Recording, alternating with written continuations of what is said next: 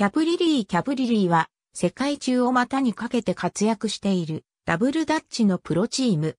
シルク・ドゥ・ソレイユ・アーティスト。1999年にチームを結成。2002年及び2003年にダブルダッチチャレンジ in 東京にて、スピード種目で日本記録を出し連続優勝。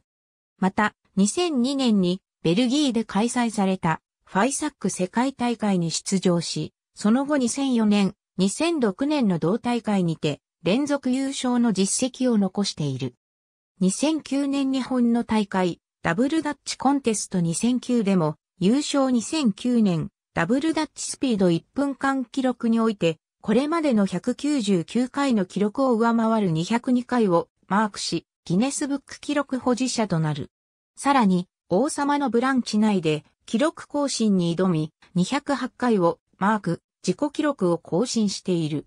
2011年12月2日にアンターになったギネス記録のイケメン美女100人の番組内で1分間に215回飛び、再びギネス記録保持者の座に返り咲いた。2011年、シルク・ジュソレイユオーディションに合格。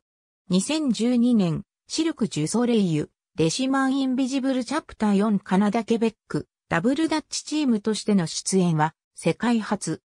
2013年、シルク・ジュソレイユ南アフリカ公演。2014年、シルク・ジュソレイユスッキャラダ。2015年、シルク・ジュソレイユアラビタ、イタリア・ミラノ公演。2015年、シルク・ジュソレイユ女や現在出演中。その他、教育機関でのダブルダッチ指導、企業 PR イベントなど多数出演。